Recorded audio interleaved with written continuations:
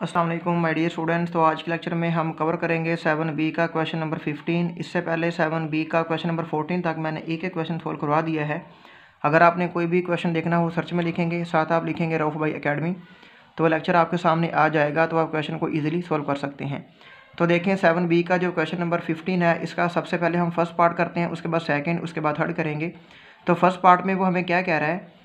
कि two over one multiply two multiply three ये equal है one over one minus two over two plus one over three है। तो ये first line है, ये सेकंड है, ये थर्ड है। हमने एट्थ लाइन को क्या करना है? फाइंड करना है और इसी सीक्वेंस को हमने क्या करना है जी? फॉलो करना है। तो देखना आपने ये है कि इसके अंदर सीक्वेंस क्या आ रहा है और उसी को ही फॉलो करते हुए हम जो एट्थ लाइन है, उसको हम फाइंड कर सकते हैं। एट्थ के अलावा अगर फाइनल पेपर में वो कोई और भी लाइन आपको कहता है तो आप वो भी फाइंड कर सकते हैं। बेसिक आपको कंसेप्ट का पता होना चाहिए। देखें ये हमारे पास फ़र्स्ट लाइन है, ये हमारे पास सेकंड है, ये थर्ड है सो उन ऐसे हमने आगे चलते जाना है और हमने एट्थ लाइन तक आना है। तो देखें, ये फ़र्स्ट लाइन है ना तो ये टू ओवर इसके अंदर भी टू है, इधर भी टू है, इधर भी टू है।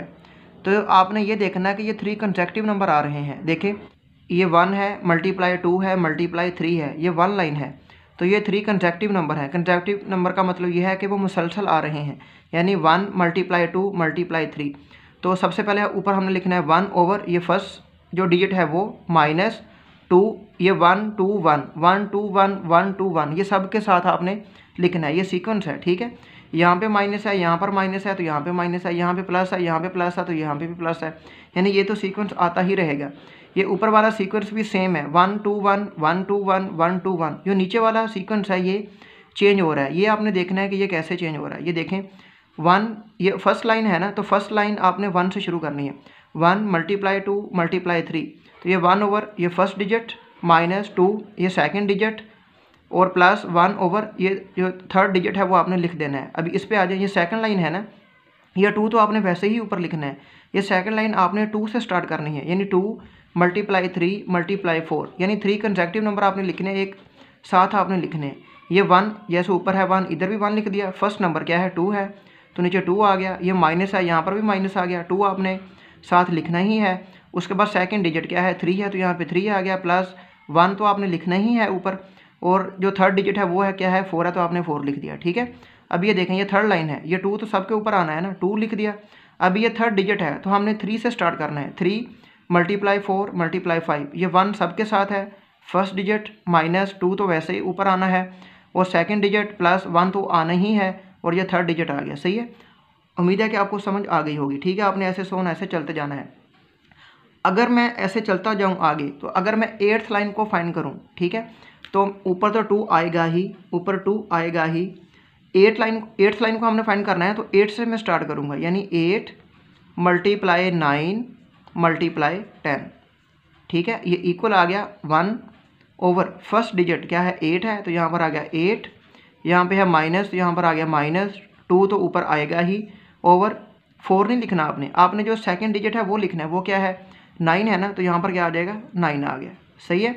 यहाँ पे आ गया प्लस वन ओवर जो थर्ड डिजिट है, वो है क्या है? टेन है। तो ये हमारे पास टेन आ गया।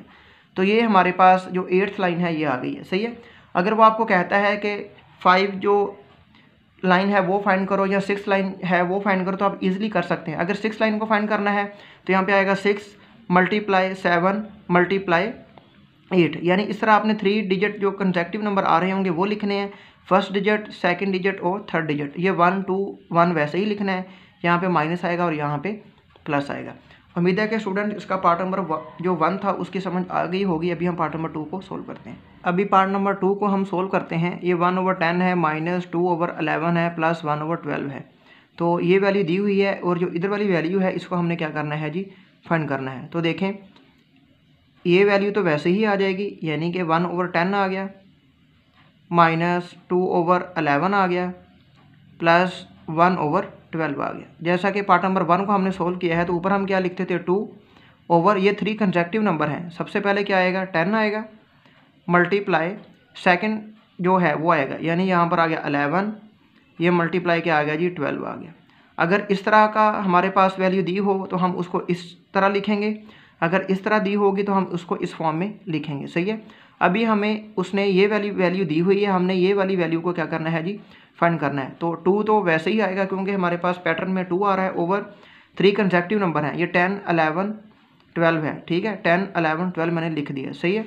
तो इसको हम यहाँ से कैंसिल आउट भी कर सकते हैं। टू से।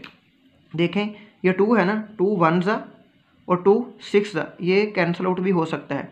तो ऊपर क्या आ गया जी? वन आ गया।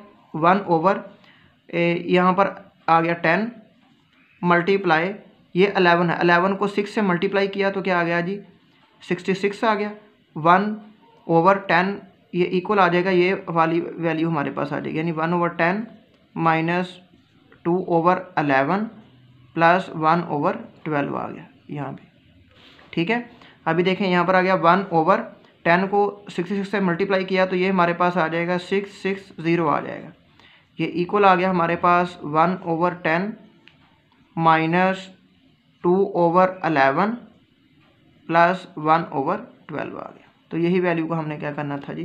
फंड करना था, यानी कि ये हमारे पास का फाइनल आंसर आया। अभी हम पार्ट नंबर थ्री को सोल्व करते हैं। पार्ट नंबर थ्री तो पार्ट नंबर थ्री के अंदर हमने क्या करना है जी? पी की वैल्यू को फंड करना है। तो पी की वैल्यू को फंड करने के लिए हमें थ्री कंस्ट्रक्टिव नंबर चाहिए। क्योंकि जो इसका जो पिछले दो पार्ट्स हमने सोल्व किए हैं, उसके अंदर थ्री कंस्ट्रक्टिव नंबर ही यूज़ हो रहे हैं।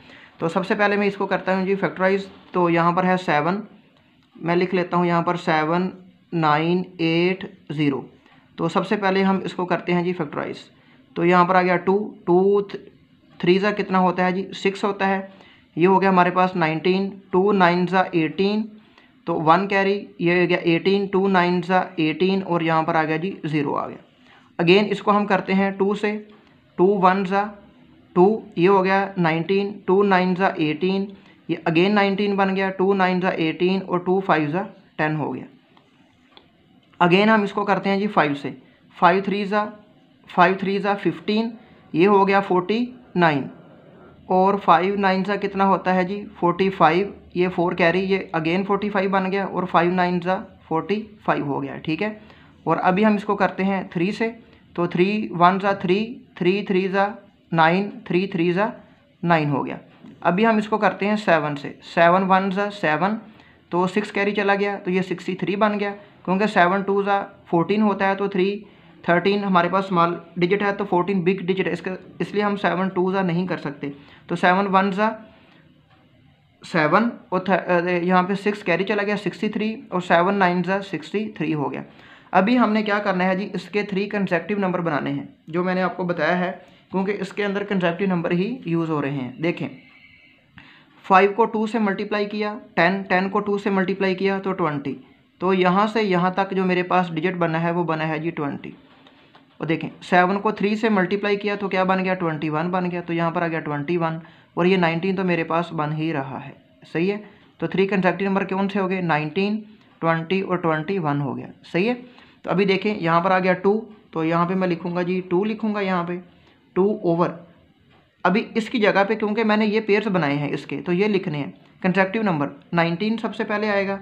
नाइनटीन मल्टीप्लाई ट्वेंटी यानी कंट्रेक्टिव नंबर है ना, एक तरतीब से लिखने हैं. ट्वेंटी मल्टीप्लाई ट्वेंटी वन आ गया. तो यहाँ पर आ गया जी ट्वेंटी वन आ गया. ये इक्वल आ गया. देखें, यहाँ पर वन ओवर पी है तो यहाँ पर आ गया वन ओवर जैसा कि हमने प्रीवियस स्टेप को सोल्व किया था। सबसे पहले फ़र्स्ट डिजिट फ़र्स्ट डिजिट क्या है? नाइनटीन है। तो यहाँ पर आ गया जी नाइनटीन तो यहाँ पर है वन ओवर पी यहाँ पर है वन ओवर नाइनटीन यानी पी की वैल्यू क्या आ गई हमारे पास? नाइनटीन आ गई। सही है? यहाँ पर माइनस है। तो यहाँ पर मैं लिख दूँगा माइनस ऊपर टू है तो यहाँ पर आ गया two over P plus one तो पी की वैल्यू नाइनटीन है तो नाइनटीन प्लस वन कितना होता है? ट्वेंटी यानी सेकंड डिजिट आ जाएगा। यानी टू ओवर ट्वेंटी आ गया। यहाँ पे प्लस है तो यहाँ पे आ गया plus one over P plus two तो पी की वैल्यू क्या है?